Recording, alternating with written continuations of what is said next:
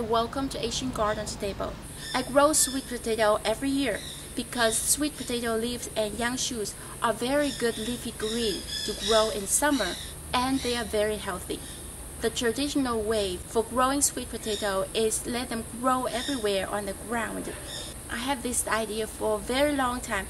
I want to try to grow sweet potato vines on trellis like the other vine vegetables. There are two reasons for that. First, it will save a lot of space. If you let sweet potato grow on the ground and everywhere, they just take over the space for the other vegetable. In summertime here, it is very hot, humid, and a lot of rain. So it is great environment for sweet potato to grow. If I do not take care of it for a long time, it just grow everywhere. The second reason, if you let the sweet potato grow on the ground, when it rains and when you water the plant, the water will splash the sand or the soil onto the plant and the leaves and young shoots will get very dirty. Usually I have to wash at least two times in a lot of water in order to get rid of the sand or soil on the leaves or young shoots. By letting the sweet potato vines grow on trellis, the leaves and young shoots will much cleaner. This is the sweet potato vine that I have. After about one and a half months grow on the trellis, the shoots very vivid and young and tender. To grow sweet potato vines on trellis, it is very easy. So what I did was, when the sweet potatoes start to grow vines on the ground, I pick out some strong and long vines and direct them onto the trellis. I set the string about three quarter to one foot apart and two vines on a string. I had about seven to eight strings for this sweet potato. I think for family consuming, three to four strings should be plenty because sweet potato vines are not very good at climbing on trellis. So every few days you come back and check the vines. If you see they grow away from the string, come back and twine the vines and the string together until the vines reach the top of the trellis because the sweet potato vines can be very heavy. When the vines reach the top of the trellis, I use string to tie the vines onto the top bar. Even the sweet potato vines grow very heavy, it will not break the string and, and fall off from the trellis. The sweet potato vines will hold the whole weight onto the bars instead of using the string. When the vine reaches the top, remove the tips. The main vine will grow a lot of young shoots. You can start to pick the young shoots anytime you want because the more you pick them, the more young shoots will grow back.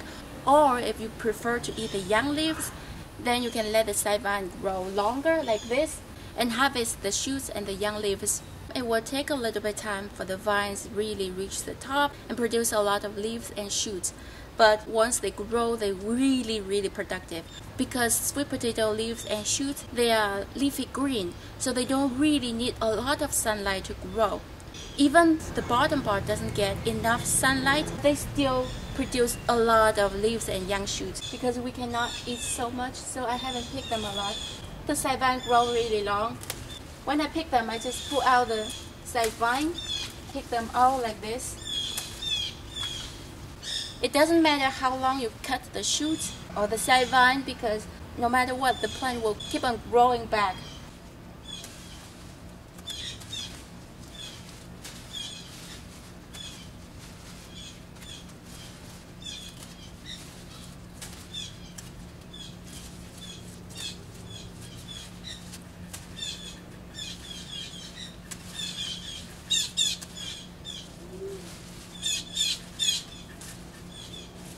I have enough. This will be our lunch today. This is our sweet potato vines we just picked. You see that because these vines grow on the trellis, at the back of the leaves you don't see any sand or soil or any dirty things. Usually I'll only pick the young leaves halfway like this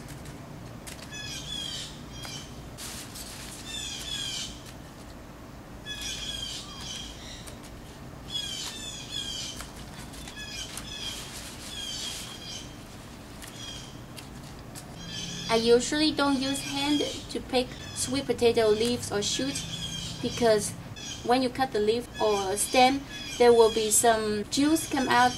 This juice will turn sticky and black. After it gets dry and oxidized, it's very difficult to wash off. So usually I just You know, be careful not to let the juice get on my hand and use a scissor to trim the leaves and shoots.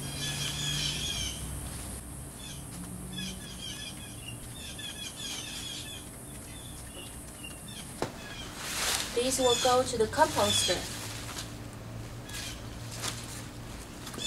This is our fresh sweet potato young shoots and leaves and I'm going to cook it for lunch. I hope you find out the method I introduced here is helpful. Please subscribe to our channel to learn more Asian vegetable or visit our website at asiangarden2table.com. I will see you next time. Bye!